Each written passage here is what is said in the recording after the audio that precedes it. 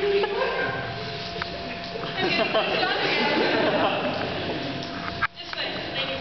guess you're a good guy after all. Please.